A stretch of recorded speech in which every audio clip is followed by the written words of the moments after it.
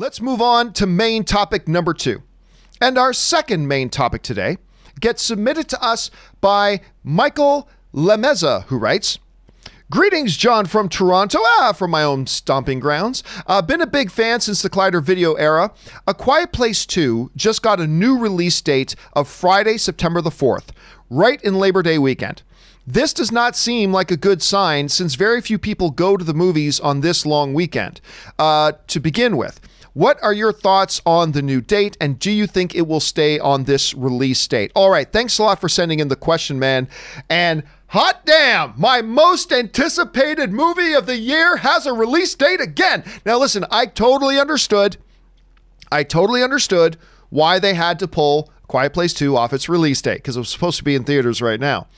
But what they did was when they pulled it off the release date, they gave it that nebulous, you know, uh, to be determined sort of thing. So I didn't know if we were going to have to wait a year for this thing to come out. I didn't know if this is was going to come out in late 2021 or for whatever reason. But now they have pointed out that we've got Quiet Place 2 has set its date and it's only pushed back to September, which I think is great. September 4th, 2020 is the new release date. And listen, Rob, I'm excited for this movie for a couple of reasons. Number one, because of course, the first one was my favorite movie of the year the year it came out. The first one was my absolute favorite movie of the year the year that it came out. Secondly, the trailers for this one I thought have been fantastic.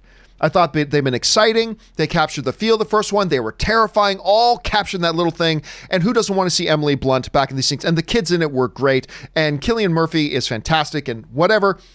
Wonderful.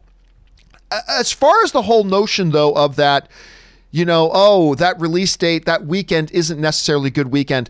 I think all bets are off right now as far as what what is normal this year. What is normal this year doesn't apply.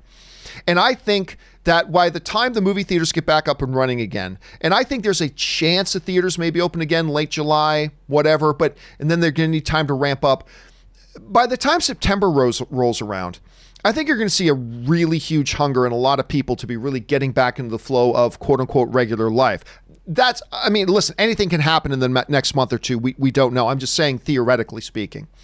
So, theoretically speaking. And so maybe there are some years where that, but basically, it's never a bad idea to have a release date on a long weekend generally. And I think this is great. I didn't want to see it pushed as far as December into 2021. So I'm personally very, very excited about this. Rob, you hear about the release date now being given to this movie. Excited, sure, but uh, maybe should they have put it on a different date, even if it meant pushing it later, or do you think this is a good one for them right now? Well, I think you got to start somewhere. And I have to say, John, you and I were both pretty agog over these trailers. I mean, this movie, as far as sequels go, I mean, this looks like the aliens to the first movie's Alien.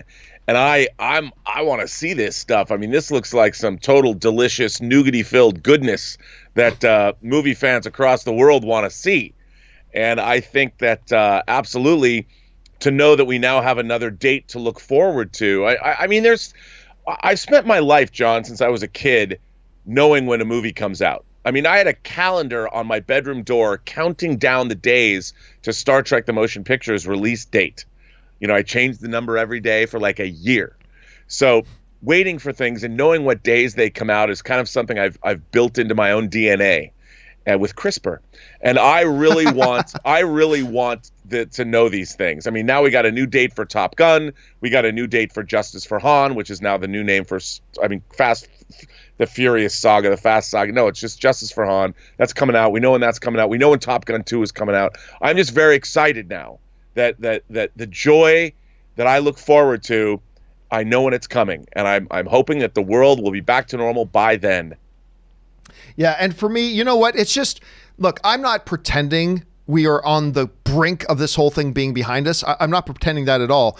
But I just gotta say, it feels really cool talking about movies getting new release dates. And, and yep. instead of talking about, instead of the only thing talking about, it's like the next round of movies that have been pulled. And the next, it's kind of fun to, to say, hey, we got a new release date for this one. And I, whatever, I'm very excited. Doesn't mean I'm pretending the problems aren't still there. They are still there. I'm just saying it feels kind of good to talk about that. Question here is, guys, How excited are you? Maybe you're not even excited all that much about Quiet Place 2. Maybe you didn't like the first one all that much. I loved it, but maybe you didn't. What do you think about the new September 4th release date? I think it's great, but maybe you're not thinking it that so sure. Jump on down to the comments section below and let us know your thoughts. All right.